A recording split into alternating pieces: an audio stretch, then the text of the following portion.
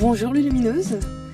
Euh, Bonjour. J'ai trois petites questions pour toi. Nous sommes les dernières générations à être nées, à avoir grandi sans Internet, sans la robotisation massive, sans l'intelligence artificielle.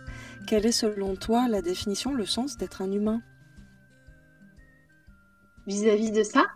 Hmm. Hmm. Moi, je pense euh, que tous ces outils sont simplement une nouvelle expérience pour que l'humain puisse justement retourner dans ce qu'il y a de plus précieux et la plus belle des grandes technologies habite à l'intérieur de lui. Qu'est-ce qu'on aurait à léguer et à préserver pour l'humanité à venir? Le cœur sacré. Il n'y a que ça.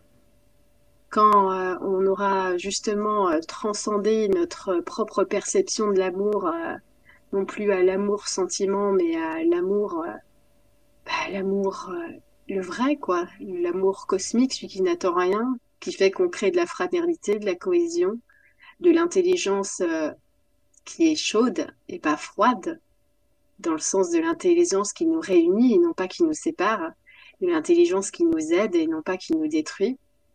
Alors là, oui, c'est le cœur sacré, c'est le cœur immaculé, pas croire, il y a beaucoup de termes qui sont aujourd'hui euh, vus comme très dogmatisés, je peux vraiment comprendre.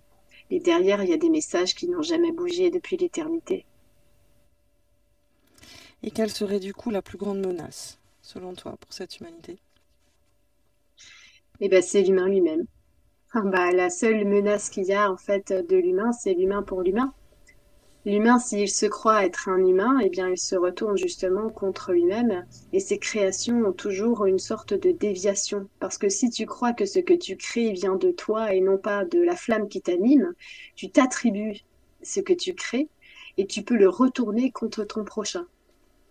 Si tu enlèves justement cette euh, possession, cette histoire justement d'être celui qui crée et de regarder que tu es le créateur justement en exercice et que tu es l'expression de cette création toi-même, alors tu deviens finalement bah, celui qui va lui-même se faire évoluer, s'épanouir dans l'amour.